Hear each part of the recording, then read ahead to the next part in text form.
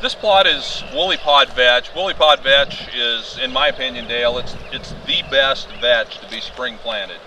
Uh, because it is a spring annual, unlike hairy vetch, which is a winter annual. So it doesn't really need to vernalize to give you the full growth, but it's a very cold hardy spring annual. So it really gets off to a fast start. Uh, is a tr tremendously prolific blooming plant, as you can see here from this April 9 planting. Uh, we've got a lot of growth, we've got a lot of blossom, so this is a fantastic crop for bees. Uh, it's a fantastic crop for nitrogen production. So if you don't get hairy vetch planted in the fall, I would rather see woolly pod vetch planted in the spring rather than hairy vetch. Uh, they, other than that, the plants look very, very similar.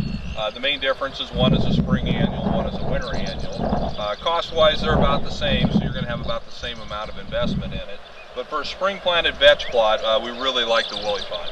Yeah, and one advantage it has over some of the other uh, options for spring planting in a legume is is this vetch vininess, I guess, for lack of a better term. Um, it makes a very, you can see how the plants just interlock together.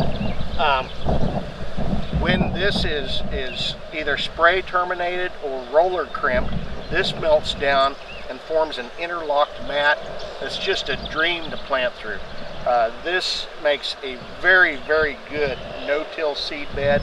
Uh, both conventional and organic farmers, uh, depending on whether you, you, terminate it with a herbicide or if you terminate it with a roller crimper, um, just makes a very good mat for suppressing weeds, locking in moisture, and releasing nitrogen throughout the growing season. How much of a problem, Dale, would this be to plant straight into and then try to crimp it or terminate it later? Is that going to wrap up on stuff?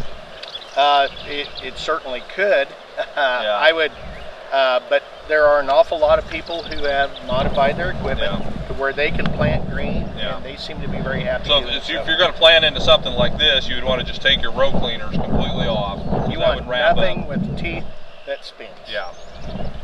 But, but yes, if you would roll this down first, then you could probably go in it with uh, a spoke tooth closing wheel and stuff like that. Yeah, a lot of people will put a, a roller crimper on the front of the tractor mm -hmm. and, and just mash it all down flat and no-till right into that.